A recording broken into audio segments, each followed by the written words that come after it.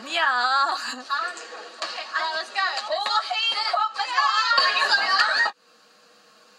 강고양이 씨. 어, 아, 바로 고양이가 아니야. 무슨 소리 강고양이 씨?